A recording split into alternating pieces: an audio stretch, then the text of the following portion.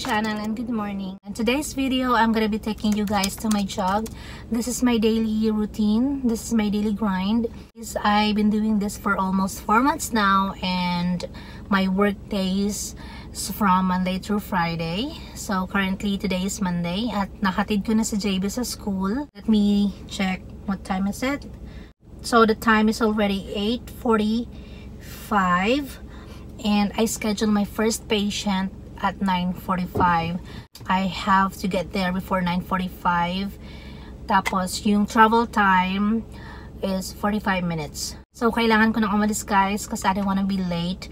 But before that, I'm going to write down my mileage first kasi kailangan ko to for reimbursement kapag payday. So, one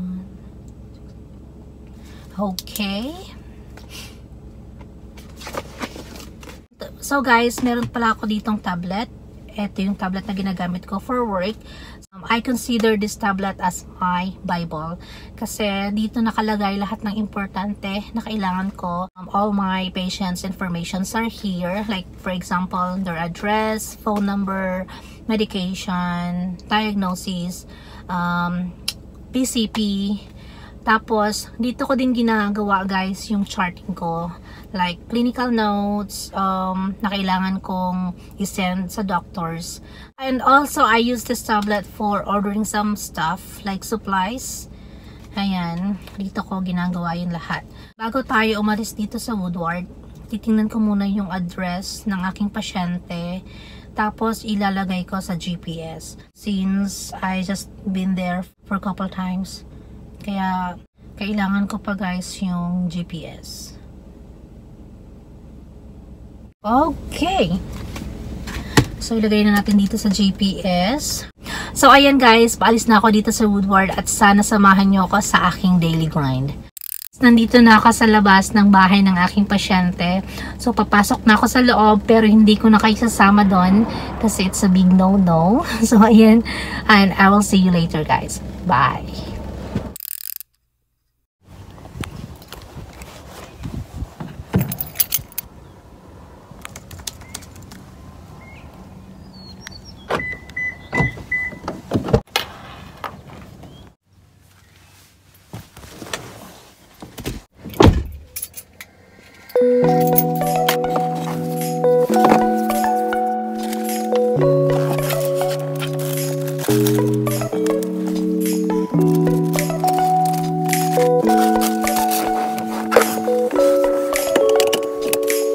So, ayun na guys. Tapos na ako dito sa una kong pasyente.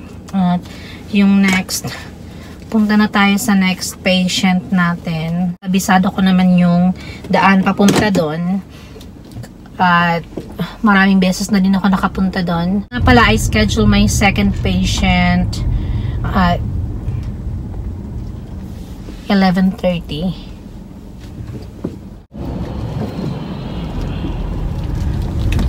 So guys, itong patient ko naman to, meron siyang JP drain kasi nag-underwent siya ng double mastectomy. So, meron siyang tatlong JP drain. So, kailangan kong i-monitor yung surgical incision. Tapos, um, kailangan kong palitan yung dressing. I-drain ko yung JP drain. So, ayan na guys. Papunta na tayo doon sa next destination natin. Guys, na-enjoy ko naman yung pagda-drive. Pero pag may snow, yun lang. Yung nakakainis. Baka nag-snow dun sa part na yun, dun sa second patient ko. Kasi, um, dun sa news, dun sa balita, sabi nila nag-snow daw doon. Pero we will see kung talagang totoo na nag-snow dun sa, sa part na yun. So, ayan na guys. Papunta na tayo sa second destination natin. Second patient. Ayan. Bevita Cracker. Ito yung favorite ko. Favorite snacks. Ayan. So, hindi pa naman ako guys masyadong gutom. Kasi nag-breakfast naman ako kanina. Nagluto si Brian ng fried rice, at saka bacon and egg. So, eto yung magiging snack ko lang.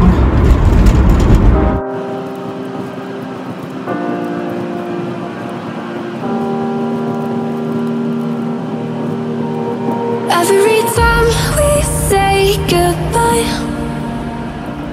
they all see that it's a lie. Cause we always give it one last try. Yeah, you've watched me break a thousand times. Now I'm all alone, cause you never show. You say you will, but then you don't. That's how it goes. Don't wanna know.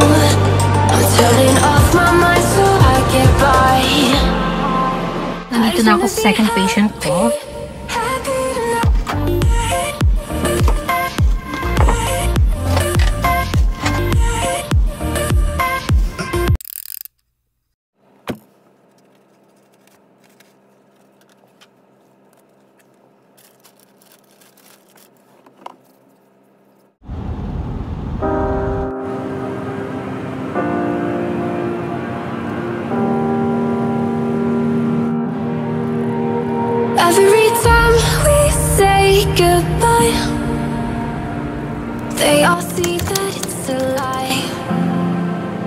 Cause we always give it one last So I am finished with my first and second patient and I will just give you a little background about my patient. So this patient has ostomy on his lower left quadrant abdomen. So maybe I need to stay there for an hour kasi eh, yung 30 minutes is for changing the bag and also yung 15 minutes for checking vital sign and all and yung last 15 minutes is for health teaching. Pauwi na ako sa bahay and finally I'm finished with my third patient. So, pagdating ko sa bahay, I will go straight to the shower. I will take a shower. Nandito na din ako sa bahay, nakauwi na ako. And usually, every afternoon, nililinisan ko yung aking sasakyan. Meron ako ditong Lysol, Lysol wipes. Ito yung ginagamit ko. Pinupunasan ko yung steering wheel, tapos, yung tablet ko, wina-wipe ko siya ng Lysol wipes.